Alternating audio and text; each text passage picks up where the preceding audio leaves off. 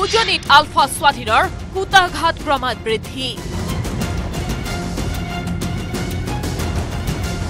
ঢলাকাণ্ডৰ পিছত ডিমৌ চাৰিআলিত আই D blast.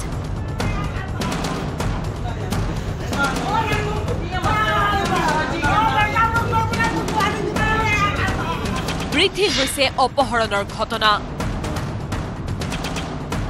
বৃদ্ধি হৈছে ধন দাবীৰ ঘটনা।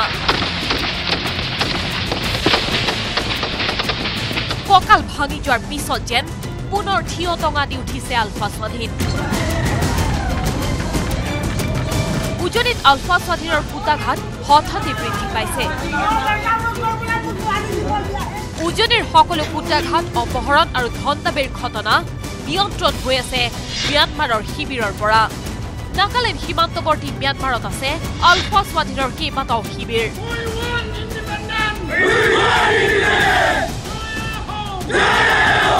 ম্যানমাৰৰ এই শিবিৰৰ পৰাই নিয়ন্ত্ৰণ হৈ আছে। উজনি অসমত চলি থকা আলফা স্বাধীনৰ কাৰ্যকলাপ। নাগালেণ্ড সীমান্তৱৰ্তী ম্যানমাৰৰ এই শিবিৰৰ নাম মোবাইল ওৱান। মোবাইল ওৱানত আছে দুজন দুৰ্ধৰ্ষ আলফা স্বাধীনৰ নেতা। এজন নয়ন মেধি আলফা স্বাধীনৰ সাংগঠনিক সহকাৰী সম্পাদক আনজন গণেশ লাহন।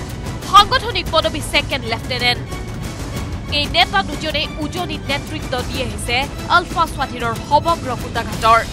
ম্যানমাৰৰ মোবাইল ওৱান হিচাপে পৰিচিত শিবিৰৰ পৰাই উজনি অসমলৈ প্ৰেৰণ কৰা হয় আলফা স্বাধীনৰ একশ্যন গ্ৰুপ অসমত কুটাঘাত চলাই নাগালেণ্ড হৈ সেই শিবিৰলৈ পলাই যায় আলফা স্বাধীনৰ একশ্যন গ্ৰুপৰ সদস্য।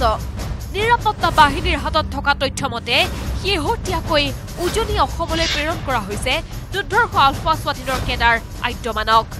আদ্যমানৰ ঘৰ শিৱসাগৰৰ নিতাই পুখুৰীত কিছুদিন পূৰ্বে শিৱসাগৰ জিলাৰ নামটি অঞ্চলত আদ্যমানৰ অৱস্থিতি ধৰা পেলাইছিল আৰক্ষীয়ে। সেই আদ্যমানৰ নেতৃত্বতেই বৃহস্পতিবাৰে সন্ধিয়া ডিমৌ চাৰিআলিত আই ডি বিস্ফোৰণ সংঘটিত হয়। আদ্যমানৰ অধীনত থকা আলফা স্বাধীনৰ দলটোৰ সন্ধানত অভিযান অব্যাহত ৰাখিছে আৰক্ষীয়ে। বৃহস্পতিবাৰে সন্ধিয়া ডিমৌ চাৰিআলিত সংঘটিত হোৱা বিস্ফোৰণত ব্যৱসায়ী কমল আগৰৱালাসহ নিহত হয় দুজন লোক। Bureau' report news eighteen Assam north east.